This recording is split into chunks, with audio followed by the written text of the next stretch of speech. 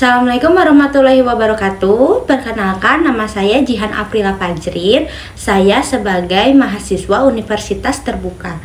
Dan di sini saya perkenalannya tidak sendiri. Ada teman-teman saya. Yang pertama ada Bu Anissa. Yang kedua ada Bu Lisna. Yang ketiga ada Bu Wisnu. Dan terakhir ada Bu Pina. Di sini kelompok kami akan menyanyikan lagu PTK untuk memenuhi tugas dari Bu Hilda. Selamat mendengarkan ya Bu Hilda.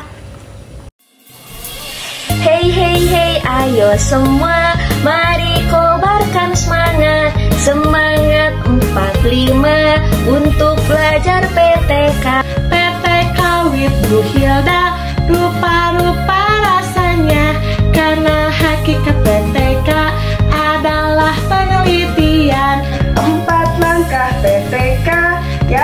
harus diikuti Ke satu perencanaan. Kedua tindakan. Ketiga observasi